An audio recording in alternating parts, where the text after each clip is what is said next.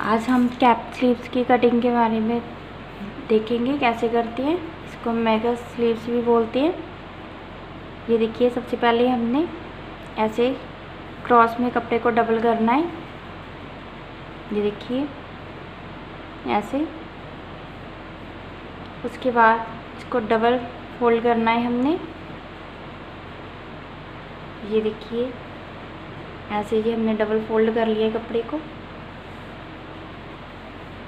एक बार ध्यान से देखिए दोबारा। पहले इसको ऐसे यहाँ से डबल करना है। उसके बाद हमने इसको दोबारा ऐसे डबल करना है कपड़े को।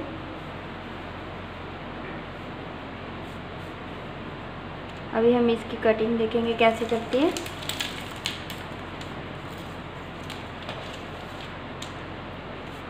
सबसे पहले हम यहाँ से इसकी लेंथ लेंगे, जैसे हमने तीन इंच इसकी लेंथ तैयार करनी है। ये देखिए, अगर हमने तीन इंच लेंथ तैयार रखनी है इसकी तो उसके लिए हम यहाँ से साढ़े तीन इंच लेंगे, आधा इंच एक्स्ट्रा लेंगे। तीन इंच हमारी लेंथ हो गई है यहाँ से। इसके बाद हम यहाँ से चौड़ाई लेंगे इसकी। जैसे ये हमने सात इंच रखनी है। ये देखिए। सात इंच हमने इसकी चौड़ाई ले ली है।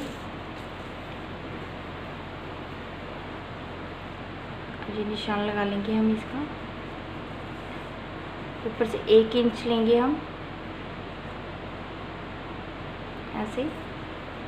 एक इंच पे निशान लगा लिया। अब यहाँ से हम इसकी गुलाई देनी शुरू करेंगे।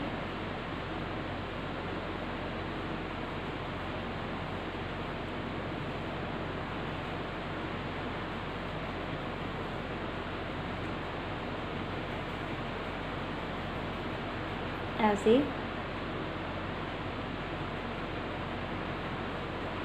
ये देखिए, ऐसे हमने इसकी गलाई देनी है यहाँ से।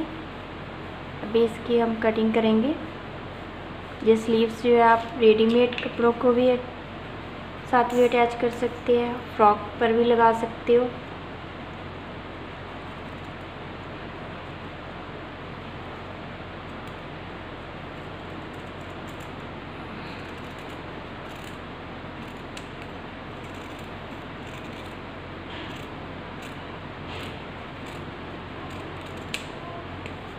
ये देखिए ऐसी होती है जी मेगा स्लीव्स की कटिंग